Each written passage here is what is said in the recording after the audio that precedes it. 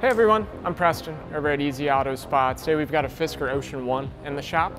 Whether you're a Fisker owner, a shop working on a Fisker, installing some paint protection film, anything of that sort, and you find yourself needing to open the hood and wondering, how the heck do I open this hood?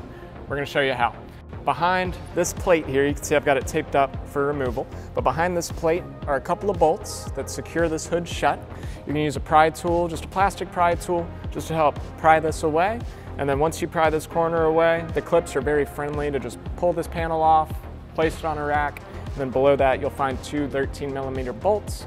You simply loosen those bolts, pull them out, and the hood will open, exposing the high voltage system that's in there. Um, otherwise, putting it all back together is pretty much just those instructions in reverse. Put the, shut the hood, put the bolts in, put your faceplate on, you're back in business. Uh, thanks for watching. If you have any questions, feel free to reach out to either of our teams here in Athens or Duluth.